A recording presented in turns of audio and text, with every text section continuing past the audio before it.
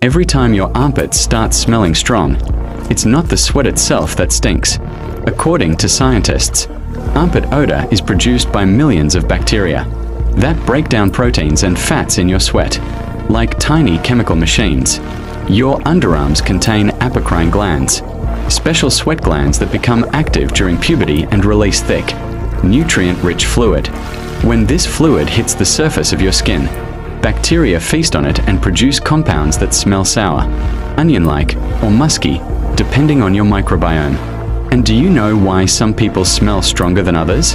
It's because genetics determine how much apocrine fluid you make and which bacteria live on your skin. Stress can make it worse too, because your body releases even more apocrine sweat when you're nervous. Now, does armpit odor mean you're unhealthy? Medical research says no. It's a normal biological reaction. Though sudden changes in smell can be linked to diet, medications, or hormonal shifts. Some people also have a condition called bromhidrosis, where odor becomes unusually intense because bacteria break down sweat faster than normal.